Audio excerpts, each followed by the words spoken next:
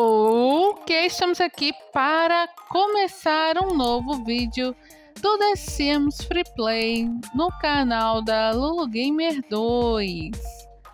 Hoje eu finalmente vou fazer o vídeo do calendário da nova atualização.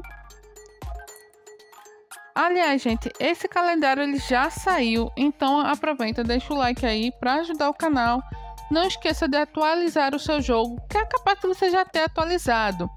A atualização ela saiu dia 17 de outubro e uh, você já pode jogar. Vamos começar o calendário com o dia 17 de outubro, né? Que você pode ir para uma nova Sim Springs, uma nova vizinhança de Sim Springs foi adicionada ao seu jogo. Vai ter um prazo, acho que de 30 a 40 dias para você realizar. Também vai ter uma Ilha da Influência 43 que eu já finalizei também. E em breve os prêmios eu vou estar mostrando para vocês.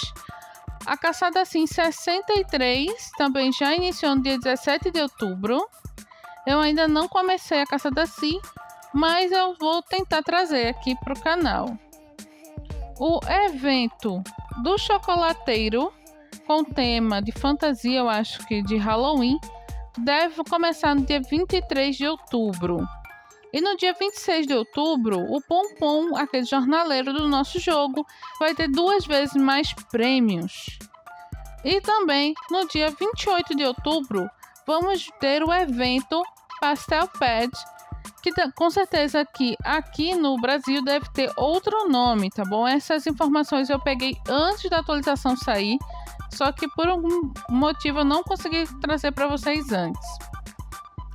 No dia 2 de novembro, uh, teremos o evento da gravidez. E no dia 6 de novembro, teremos a Ilha da Influência 15. No dia 14 de novembro, teremos o evento Maravilha Maximalista. No dia 16 de novembro, a Caçada Sim 66 chega no nosso jogo. E no dia 18 de novembro, teremos a missão Ação de Graças. É aquela missão que nós temos que cuidar de um peru no dia de Ação de Graças. Aqui no meu canal já tem essa missão, porque ela voltou, eu acho que foi. Não, peraí, ela voltou esse ano e voltou de novo agora. Então, essa é a segunda vez que acho que nesse ano que ela volta.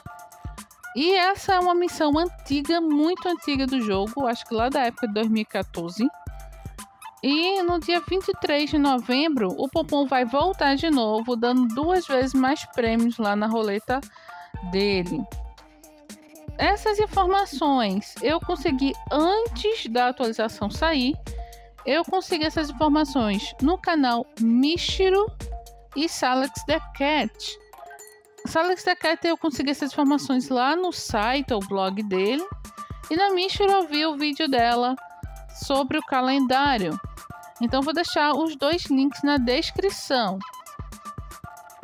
A versão provavelmente deve ser 5.79.0 e a data que ia sair na realidade era dia 16, ó. E o primeiro evento no dia 17, ou saiu no dia 17. E realmente, como eu disse, eu fiz esses, esse, eh, esses slides antes da atualização sair. Então, gente, eu espero que vocês tenham gostado. Não perca os eventos.